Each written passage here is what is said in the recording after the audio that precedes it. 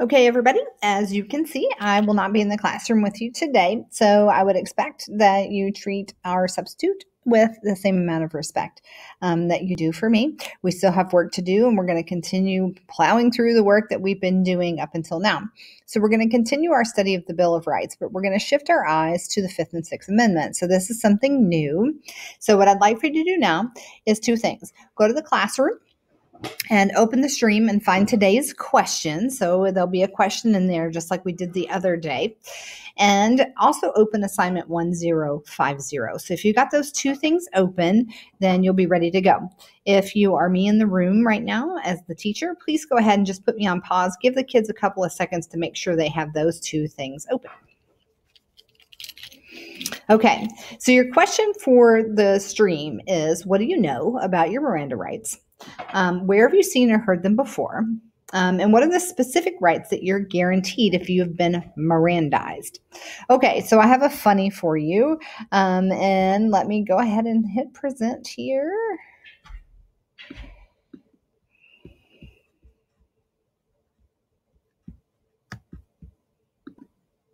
Okay, so here we go. Let's have a little bit of a funny with Nick Offerman from 21 Jump Street, the movie, while you're thinking about this idea of Miranda rights. Okay.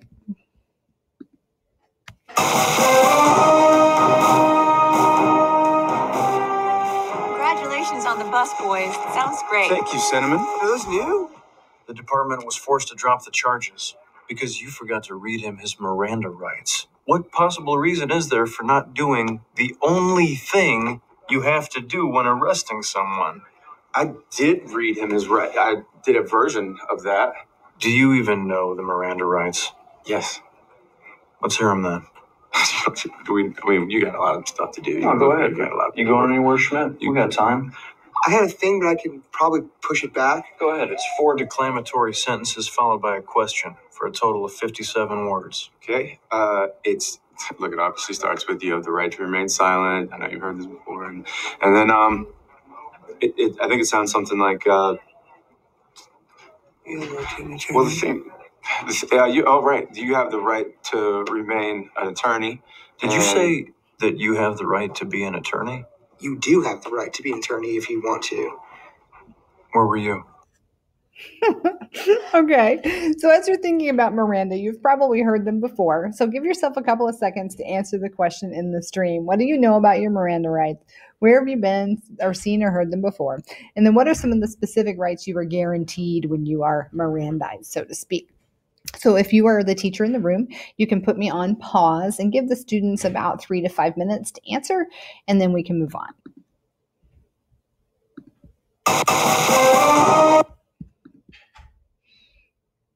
Okay, so the next thing that we're going to do is actually watch Miranda for realsies, right? So, what really is Miranda? Um, what are they, etc. So, let's go ahead and watch this one. So, a couple of videos to get us started today. Do you even know the Miranda rights? You have the right to remain silent. You have the right to remain silent. You have the right to remain silent. Walter White. You have the right to remain silent. Most people know their Miranda rights from TV and movies the right to remain silent, the right to your own attorney, and the right to a free attorney if you can't afford one. But why do people have these rights? And what could they mean for you if you're ever accused of a crime? Well, let's run through three big myths about Miranda rights. The first myth is that federal law requires people be read their rights. There actually is no law on this. Instead, Miranda rights are based on the Bill of Rights, which the founders wrote to protect a citizen from being forced to be a witness against himself. The goal was to prevent the government from using its power to force Americans into confessions when their life was on the line. Now, when rich people were accused of crimes, they benefited from that rule. They'd just call their lawyer and avoid the police. But in 1966, the Supreme Court decided that rule should protect everyone.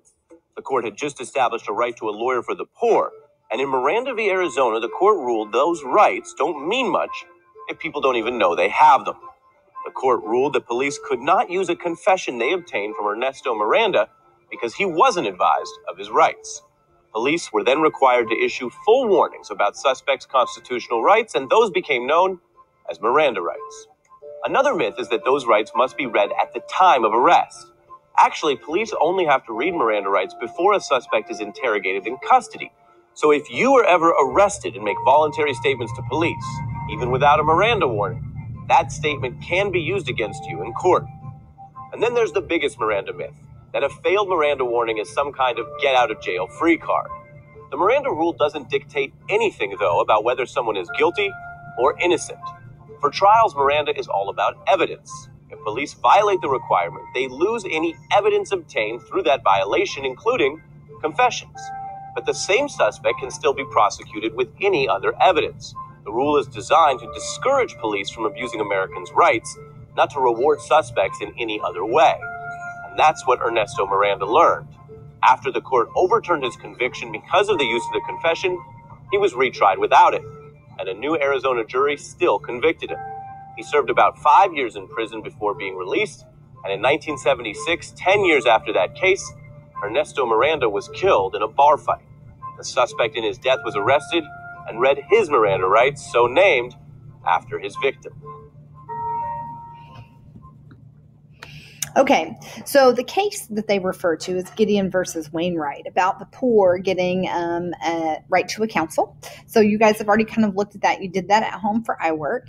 So really, the big thing to remember about Miranda rights is that they are read to you so that you are aware of your rights going into a situation where you might be interrogated or you are placed in custody. So it's not necessarily a get out of jail free card, but it does um, force a case to go back and be retried if Miranda is violated. So you can be tried on other evidence.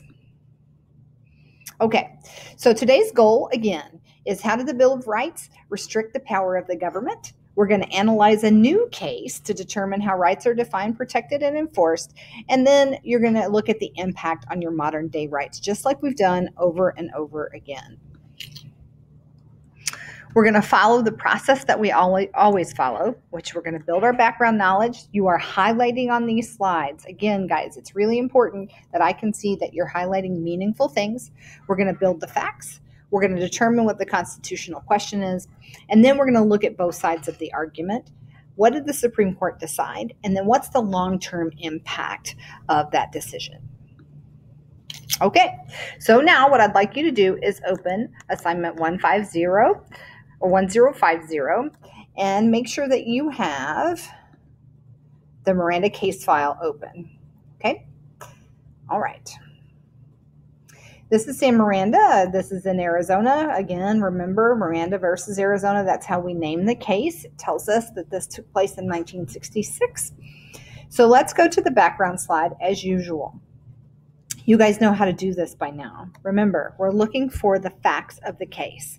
So, if you are me in the room or the teacher in the room, I would like for you to set a timer for about five minutes and give students the chance to highlight the background and facts and then answer the questions on slide three. So you can go ahead and put me on pause. And in that time period, again, you're you're highlighting what is important and you're discussing, or not discussing, you're actually answering these three questions for discussion later. Okay, so let's talk about what you highlighted. So, what's really important here with Miranda is that they were looking at a series of three or four cases that had these striking similarities. Each of the defendants had been convicted after making a, a confession while in custody but they weren't preceded by any warnings that they had the right to remain silent or an attorney. The case of Sam Miranda was the lead case in this. He was arrested and charged with assault and kidnapping, um, and he only had an eighth grade education. So the police at this time did not inform him of his right against self incrimination, meaning his right to remain silent. They did not tell him he could get a lawyer. And during this interrogation, Miranda wrote a confession that he had, in fact, did this. He was tried, um, convicted, and on the confession, actually, the top of it had a typed statement saying that he understood that he was doing this voluntarily. It was questionable whether that was added later. However, they had Miranda's written confession. Miranda said, you know what? You can't do this because I didn't know that I could have an attorney. I didn't know that I didn't have to say anything. The state agreed that he was not warned of his Miranda rights, um, but they also held that since he had been convicted of crimes before, he should have known them. All right, so those are the basic backgrounds of the case. Now, what I'd like for you to do is talk about these three questions. So, you should have already answered them in the classroom. Have a discussion about do you believe that the Fifth Amendment has been violated? In other words, um, it, the Fifth Amendment says no person shall be compelled in any criminal case to witness against himself. Do you feel like that was violated? The Sixth says that in all prosecutions, the accused shall enjoy the right to have assistance of counsel. So, do you believe Miranda's Fifth Amendment rights were violated? Do you believe Miranda's Sixth Amendment um, rights were violated? What questions do you have about that type statement at the top of the handwritten confession? And then, thirdly, should the pr- procedures for an arrest be any different if you have been arrested before? So, if you are a teacher in the room right now, I'd like you to put it on pause and facilitate a discussion on these three questions. That should take about five minutes. So don't be afraid to um, give your answers here or talk about what you're thinking. And remember, it's okay to say, I'm not really sure yet, because that's part of the development of the case. Okay, the next thing I want you to do, and remember, we don't like the slide or the way it's constructed, but what's the real question here in this case? Have a conversation. And what do you think the court is going to talk about at this point? And this is really simple. Remember, we've done this before. Um, basically, a quick statement on what you think the central issue of this case is. Give yourself maybe a minute, 30, 30 seconds to a minute to decide what you think it is and type your answer in right there. Okay, as a class, if you came up with something like, were Miranda's Fifth Amendment rights to test not testify against himself violated, or and or was his Sixth Amendment right to counsel violated, then we're on the right track. Okay, so today we're going to do something a little bit different. Instead of me giving you the arguments or let's or discussing them, what we're going to do this time is I'm going to actually have you write them. So I want you to give yourself a couple of minutes to think about do you think um, that Miranda's rights have been violated? Yes or no? Or do you think that this was reasonable um, given that he had committed prior crimes and there's nothing in the Constitution that says that you have to be informed of those? So I would like for you to give yourself a couple of minutes. What do you think? Where do you feel like you land at this moment? Okay, so you should be on slide five in your slide deck. Um, what you're going to do next is you are going to write your own argument, but I've given you a really, really solid structure to do this with. Okay, what I want you to do is decide which side of this you're on, right? Do you think Miranda's rights were violated or not? That's going to dictate whether you do slide five or slide six, okay? Make your decision on which side you think you're on. Once you've done that, I want you to complete this statement. All right. The Fifth Amendment rights be specific from the Fifth. So I want you to be specific from the Fifth.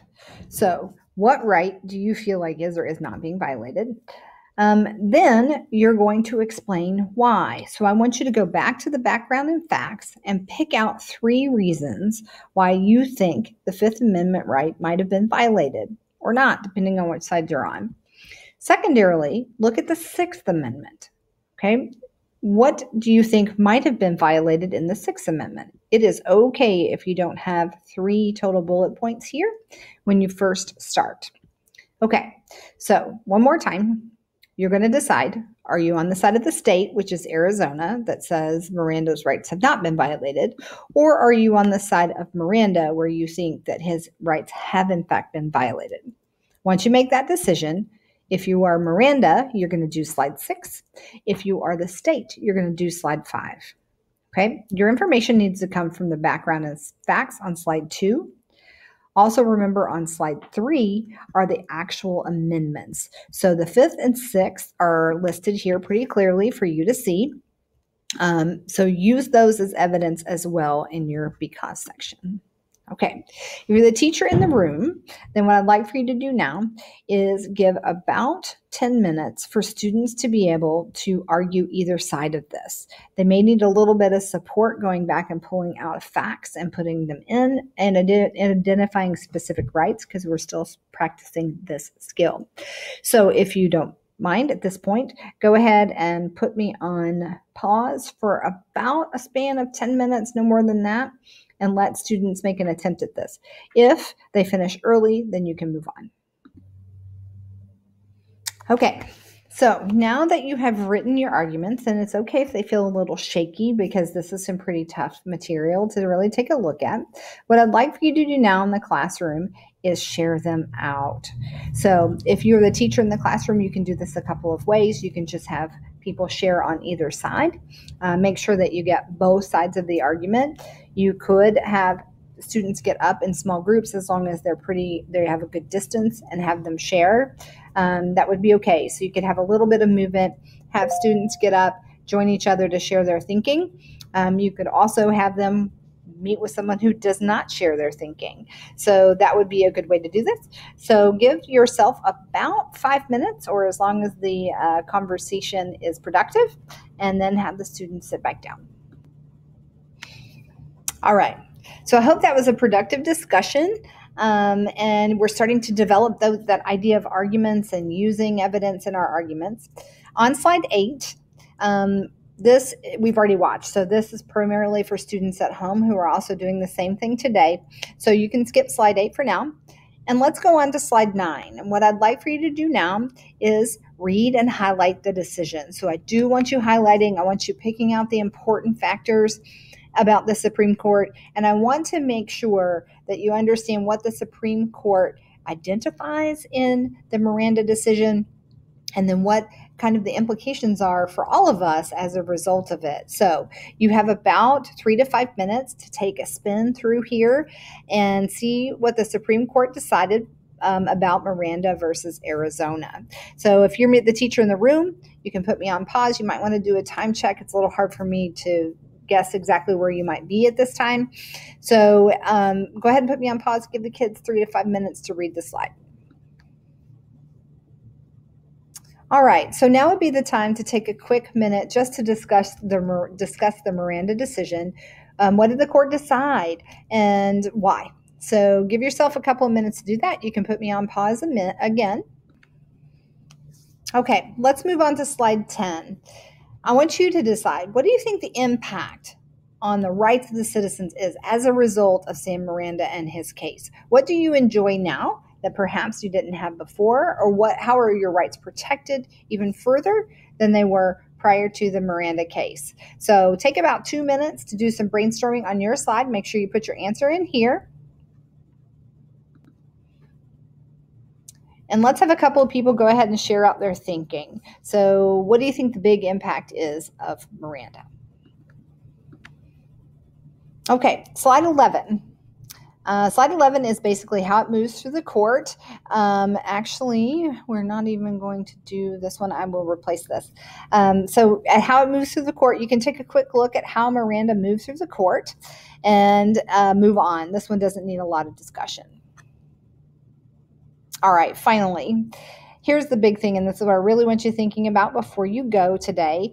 Number one, how does the Fifth Amendment protect the rights of the citizens? And then how does it restrict the power that the government has? We keep asking this question over and over and over again every time we evaluate one of these cases.